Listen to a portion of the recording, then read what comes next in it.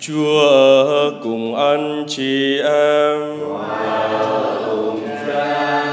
Tin mừng Chúa Giêsu Kitô theo Thánh Luca.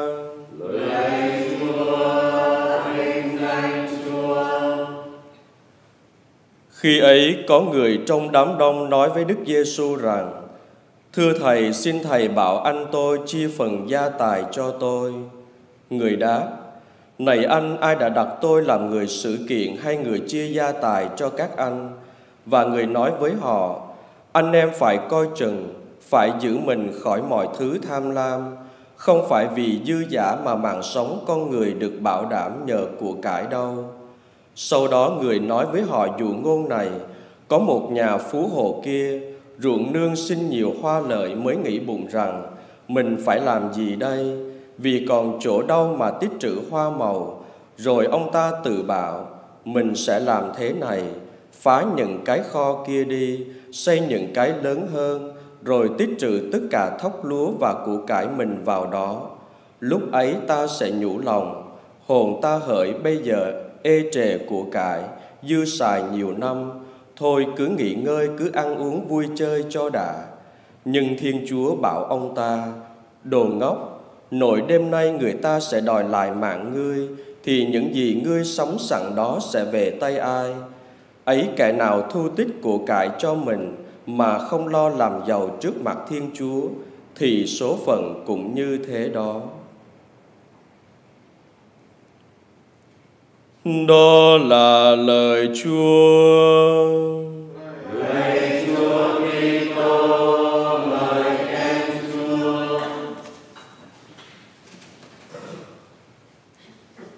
Kính thưa cộng đoàn,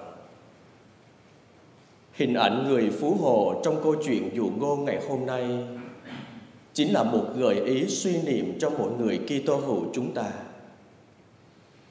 Chúng ta tích trữ tiền bạc, của cải vật chất để bảo đảm cho cuộc sống hiện tại và chuẩn bị cho tương lai.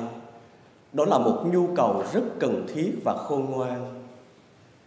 Nhưng đó có phải là giá trị tuyệt đối trong cuộc đời này hay đằng sau nó còn có một giá trị nào khác lớn hơn và cần thiết hơn thế nữa? Đó là điều Đức Giêsu muốn nhấn mạnh trong câu chuyện dụ ngôn ngày hôm nay.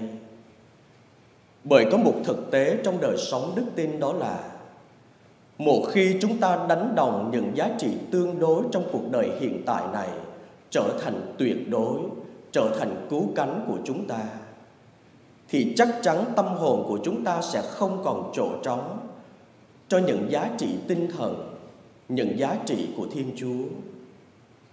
Khi Đức Giêsu ngày bắt đầu sứ vụ công khai, Ngài cũng phải đối diện với những cơn cám dỗ về vật chất, về những nhu cầu rất cần thiết trong đời sống của con người như vậy.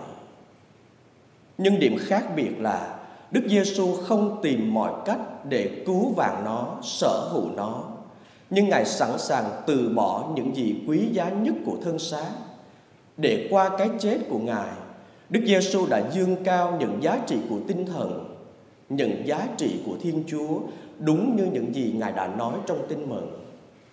Con người sống không chỉ nhờ cơm bánh mà còn nhờ bởi lời của Thiên Chúa. Và ngày hôm nay Đức Giêsu cũng nhắc lại điều đó cho mỗi người Kitô hữu chúng ta.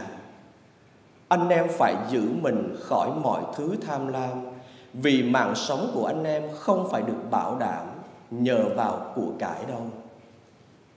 Lời của Đức Giêsu cho chúng ta thấy, vật chất là một nhu cầu, nhưng đó cũng là một cơn cám dỗ rất lớn một khi chúng ta tin rằng đó là giá trị tuyệt đối, bảo đảm cho tất cả đời sống hiện tại, hơn cả sự tín thác và quan phòng nơi Thiên Chúa. Chính vì vậy khi đối diện với những cám dỗ, những dục vọng trong đời sống, chúng ta hãy sống lời mời gọi của Đức Thánh Cha Francisco. Đó là chúng ta không thể đối thoại với nó nhưng chúng ta phải cương quyết chiến đấu với nó và sức mạnh duy nhất chúng ta có thể bám vào trong cuộc chiến đấu với những cơn cám dỗ của ma quỷ của vật chất chính là lời của thiên chúa dẫu cho nhiều khi lời chúa không êm ái không ngọt ngào như những chiến thuật của ma quỷ vì vậy lời chúa ngày hôm nay chính là một hướng dẫn đức tin cho mỗi người Kitô hữu chúng ta. Bên cạnh việc chúng ta sống với những nhu cầu rất cần thiết trong đời sống của con người, chúng ta cũng hãy tập gắn bó, tập yêu mến với những giá trị tinh thần, những giá trị của Thiên Chúa qua đời sống cầu nguyện, qua việc học hỏi, lắng nghe và sống lời Chúa mỗi ngày. Đó là chúng ta đang làm giàu trước mặt Thiên Chúa, đang tích trữ trong mình một kho tàng vĩnh cửu, không hề bị mối mọt ở trên trời. Amen. Chúa ở cùng anh chị em.